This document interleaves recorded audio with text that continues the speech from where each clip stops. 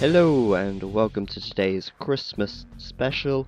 Um, nothing particularly special about it other than the fact that I'm sat here wearing my Christmas hat and full of Christmas cheer. Um, I did say that I wasn't going to bring out a video on Christmas Day. Uh, that's kind of not true as you can tell because this video exists. So I kind of just thought, you know, I'll do it anyway. Who cares? I'm just going to put these things up. Right, there we go. So as you can see, we've got Orcus, also known as Chris, um, and DauT in red. Orcus in green. I think I'm just going to call him Chris from now on. Um, they're also the arguably best players of AoE of all time. Um, so this is going to be quite a hectic game. Even though I'm feeling pretty relaxed uh, sat here, and I'm not planning on getting too worked up about this one. Got a drink, a mug of mocha to keep me going as well. Um, also, you may have noticed this is a Land Nomad, and Land Nomad is quite an interesting map. For the fact that everything is spread out from the very start. As you can see, um, Orcus had to build his town centre from scratch, and he started over here, um, and all his villages were a bit spread out to begin with. And also his map exploration is kind of weird. Looking at DauT then, well DauT, DauT had a villager all the way up here for a start, and he's already built a dock and got a boat out on the water. Now, it's very important in Land Nomad, and Nomad, to get your town centre up as fast as possible. Of course, the longer your town centre is building, um, the longer your opponent's town centre could be producing video uh, videos, producing villagers, and getting an advantage. At the moment, the scores are pretty neck and neck. You can get closer than that. There's only two difference between them, um, and both players are beginning their game pardon me, they are quite close together actually on the map. And Land Nomad is a great map actually as well, purely because it's got a lot of water, it's got a lot of resources available, um, which means that there's not so much competition for resources, but if you are able to exclude resources from your opponents, then you're going to be in a good position. As we can see then, all the gold is kind of to the north of the map, as well as quite a lot of sheep as well. There are a hell of a lot of sheep on this map and both players are actually exploring with their sheep at the moment, purely for that reason. Quite a few boar as well, and no doubt both of them will be collecting boar where possible. Yeah, excuse me for the random pauses, that's just because I've had way too much to eat today, and uh, there is a lot of gas to be getting out. So yeah, um, while the game is underway then, I'll just uh, tell you what I got for Christmas, why not? Um, lots of chocolate, I think that was the main thing that I got for Christmas, chocolate. Um, chocolate, Terry's chocolate oranges, shortbreads, chocolate boxes, everything you could want. Um, I'm gonna I'm gonna have enough chocolate to last me till February, no doubt. No doubt, indeed, and that's uh, exactly who we're spectating right now. As you can see, it's gathering a lot of wood here, and that's purely just to get out plenty of fishing boats, and I think he's got another dock. Oh no, it's not yet, but I can imagine he'll have another dock soon. Um, he's going purely into wood at the moment, and obviously having his dock all the way over here, he's going to assume that um, there's not going to be any harassment to that until the feudal age. Excuse me again. so DauT then at the moment in the lead score-wise. He has a few more population than Chris, and that's probably due to the fact that he's got a lot of boats out on the water, and also due to the fact that his town centre was up first, and it's been pumping out villagers pretty much non-stop from the start of the game. Probably going to make a little wall off here actually, um, he's got a couple of houses there already, and as we can see Chris has actually plonked a house down there, so he knows that Chris is fairly nearby, now I'm going to say this a bit early on, it's a pretty hectic game. With Land Nomad you're spreading out across the map pretty much insanely. Um, as you can see, DauT's creating a mill or a house up here. They've just housed all around the map, uh, just exploring and housing as they go. Um, and there's going to be a lot of spread. There is always a lot of spread. Um, on these maps because obviously the resources are usually quite far apart and it's quite a small map as well so there's a lot of angles to attack and a lot of places that could be left exposed. Another dock down here for DauT then and no doubt with all these fishing ships on the water he's going to be able to reach 500 food fairly quickly Um, as of yet, no farms or anything like that. He's already gathering gold quite early on. Um, and yeah, my game's going a bit spazzy, so I actually hope it's not going to be affecting the recording. Um, also, someone said about noise volume. Um, I turned the game volume down as much as I could, but it's still Oh, fairly loud, unfortunately. So there's not a lot I can do about that because the in-game settings don't seem to affect it very much.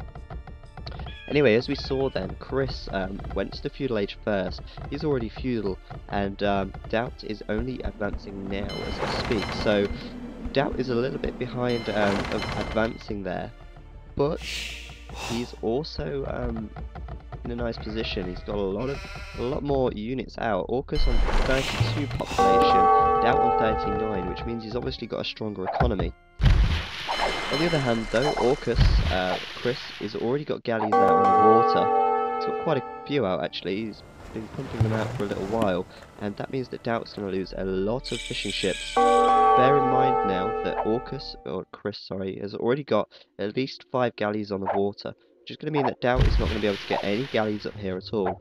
Especially due to the fact that he can't make another dock up here now because his villages are so far away. He has got four docks down here now though. Um, he's obviously responding to that in the only way he can by building docks down here and trying to get out as many galleys as he can, as, as many galleys as he can to combat Orcus. But Chris, however, um, taking out pretty much all of DauT's boats there, and that's definitely put him in the lead, as you can see by the score. Fog of War on, and we can see that DauT has ex already explored a lot of the map. Um, although he went to Feudal Age pretty late, um, he's going to be able to advance to Castle fairly soon, no doubt. That's if he's not harassed by Orcus. Uh, Chris, however, I need to stop saying Orcus, it's Chris, it's Chris. Chris, though, archery range, barracks, and that means he's going to be going pressure. And that's a good move to make. Outpost there for a little bit of scouting, uh, or map visibility. And also, interestingly enough, blacksmith and houses up here, as well as an outpost. He's spreading out as much as he can, um, which kind of works, and it kind of doesn't, but that's his method at the moment. Okay, so now DauT with galleys on the water, and it looks like um, Chris is going to be hard pressed to deal with that. He's kind of split his navy up, and that means he's going to lose a few of his galleys. Still with a score lead though, and no doubt going to stay that way until DauT can take out Orcus's ships. Uh, Chris's ships. I need I need to say Chris, not not Orcus. Bear with me while I have a sip of my mocha. There we go, Christmas special, ladies and gentlemen. Listening to me sip on my mocha. Lovely. so Orcus now, uh, Chris even, oh I need to stop myself, Chris is um, forced away from that little mining camp there due to those boats. And a little scuffle on the water. Looks like DauT can win this. He's got more ships, and he's also had the first shot into Chris's boats. While this is happening though, we've got a few archers down here from Chris, and what's Chris going to do with these archers? No doubt try and harass where he can. DauT quick to wall off there, he doesn't want that gold pile getting harassed. That's his only gold income at the moment. He wouldn't want to lose that now. Both of them still in the feudal age. Chris with a few archers into DauT's base. DauT with many woodcutters actually. Um, no doubt he's going to be looking to um, get as many town centres out, uh, etc. as he can when he gets to the castle age. He's also going to need that wood to create uh, military production buildings. He's only just got his first barracks up now, and he's a little bit behind in that sense, and he doesn't have an archery range yet. There he is. Obviously, now forced to build in a very awkward manner. Um, his villagers are fairly safe for the time being. They are being fired upon, but Archer's pretty weak um, at doing much damage for now. Um, and really, DauT is just managing as he can in there. As you can see as well, four lumber camps in this small area. Um, it makes sense though, uh, having a lot of lumber camps around, I'll get back to that in a second, having a lot of lumber camps around um, means that your villagers have to travel less distance before they can bank, as it were. Now Chris is trying to take out this watchtower here, he wants to gain control of this gold. Um, understandably, he wants to force his opponent to have less gold. Doesn't look like he's going to be able to take that watchtower out though. His villagers are being attacked by DauT's villagers, and this villager's got heavy repairs on there as well. So the watchtower stays up, and unfortunately for Chris, he loses a couple of villagers. Now over on the water, Chris with about five or six galleys there. DauT thoroughly taking control here. He may not have many uh, fishing ships on the water at the moment, but he's definitely got control. He's got all of these galleys, and he's forcing Chris to lose all of his fishing boats, so that's firmly in favour of DauT at the moment. It's good for him. Streaming down the hill, though, DauT may have the water advantage, but at the moment Chris has definitely got the advantage on the ground. And although uh, DauT has a few skirmishes there, Chris has definitely got more um, on the field at the moment, and he's going to be able to take them out. Interesting little area here as well, we've got two hills. Um, obviously hills giving an attack and defensive bonus. So there we go. What's DauT getting here? Another archery range, and Gosh, I need to stop burping, it's so bad. Another archery range there. So DauT then, able to collect a lot of fish on the water, still another dock going up. Also explains his heavy lumber camping. Um, and, oh, here we go. So Chris is coming in now into DauT's base with a large force there. He's definitely outnumbering those skirmishers, and he's definitely going to be able to take them out as well. Forcing DauT to quickly build a watchtower there, and as you can see, Chris losing a few men, and DauT even attacking with villagers. This is the kind of nitty gritty dirty game that we like to see because it really is all over the place. There's attacks coming in from all angles, there's buildings all over the map, and both players are actually I can't imagine how much multitasking they must be doing. Their screens must be in one place, uh, more than one place at once. That's for sure. Seems like Orcus, uh, Chris, however, has managed to take control of the water again. Um, DauT's ships are all the way over here for some reason, miles away from base, and that means that Chris is going to be able to take out these galleys with little problem whatsoever. He's going to be able to take out these ships as well if he gets there before DauT comes back, although DauT does have a galley advantage. Water control in favour of DauT at the moment, I would say, although saying that Chris is on the comeback on the water. More archery ranges for DauT then, and looks like he's going to be getting quite a few skirmishes out, as he has seen that Chris is mainly building archers. Sides have changed now then. Oh, maybe not. I didn't actually see that army of Chris's there. What's he got? Skirmisher Archer army. Majoritively skirmishers, and they are having quite a nice little battle out actually on this little area. Nice two hills here, and it's really just now a case of who can get the most men out and lose the least men. It's all going to come down to micromanagement. Chris with a good little move there moving forwards. Needs to get back, however, otherwise DauT is going to deal considerable damage more houses there. Houses are interesting, really. Uh, they have quite a lot of HP, so in the feudal age they take a long time to take down. And they make a nice little obstacle. Uh, they, they obstacle, obstacleize everywhere. That's not even a word, but they do. Uh, they are interesting buildings. They're not all clumped together like you usually see. They are spread out, used as walls, um, and it really is a skill in Age of Empires to be able to, to really um, you know, find whatever resource you can where available, and obviously houses are a resource in this game. Building another watchtower here, that's a sensible option. If you can get that up, he's going to be able to take out these archers. If he doesn't get this up, he's going to lose all of his villagers. He's desperately trying to get that up. Looks like Chris might be able to take this. And that was a good move there. Chris managing to secure that area and DauT losing, by the looks of it, all of his gold income He's not going to be able to afford any archers now, and that's bad. He can't afford archers, he can't afford galleys, and that means he could potentially lose water control here. Orcus Chris even, um, taking out lots of boats there. Going to be limited by how many he can take because there's DauT's army, main beach, they say, right there. In the centre then, who's got the winning army? Well, let's have a look. They're both fairly even at the moment.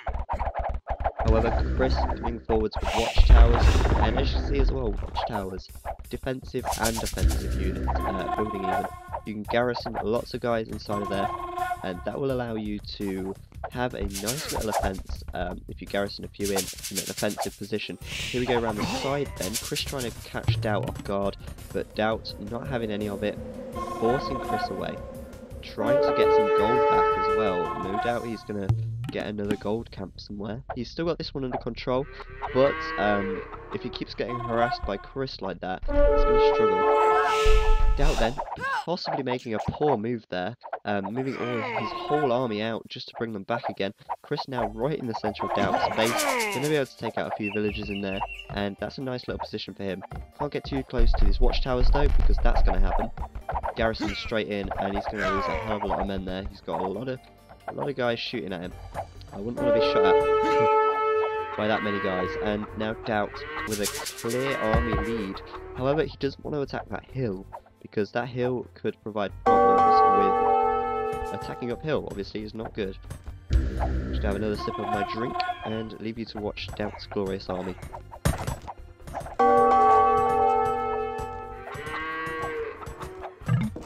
Castle Age for DauT. DauT in the Castle Age, immediate response from Chris to advance to the Castle Age. Maybe he was planning to do that, maybe that was his response. Um, obviously it doesn't take that long to advance, but that, that period of time where you're not advancing, it allows your opponent to get up a siege workshop. It allows your opponent to upgrade their men, it allows your opponent to gain an advantage, get out maybe some knights, do whatever your opponent is going to do. And I really love how these guys use their economy. They've really spread out. They've got farms all over the place. They've got lumber camps all over the place. They're making the most of what they can. Go. So DauT with a push now. Using his elite skirmishers to push forwards. He's obviously using this to his advantage. The fact that he's got this small window to attack. He's even upgraded his archers to crossbowmen. He's timed this really well. Because obviously Chris is not going to have the technology advantage at this stage. He could, however, still force DauT back, and there we go. So DauT is now forced to retreat, losing most of his army, and there we go. That's what an advantage on a hill can do. Uh, that's hence why hence why people stick to hills. Um, standing on top of a hill and firing down does help. So now Chris has got a small window to actually upgrade his men again and try to combat uh, DauT's, DauT's improved. I know those archers though, no doubt about that, and Chris really needs to lump his uh, army together more. These little skirmishes around the side, they're not really working. Small attack up here, but two watchtowers, you cannot deal with that unless you've got battering rams. Who's got battering rams? DauT. And DauT is now going to be able to take out these towers. There's nothing to garrison in there. Towers doing very minimal damage to these. So there we go. Orcus, uh, us at that battering ram, lured into that uh, position where DauT can bring his mangonels up. Chris is really not looking forward to this. Mangonels, excuse me, Mangonels are the ultimate weakness of any uh, any archer unit. However, Chris coming quickly in with some knights there. Even the knights need to be worried about these Mangonels. They can deal a considerable amount of damage, and that just crushing Chris's men. Chris has kind of gone all in here, but DauT has found an excellent position. Um, he's wedged himself in that little gap, and he's managed to take out pretty much all of Chris's dudes there.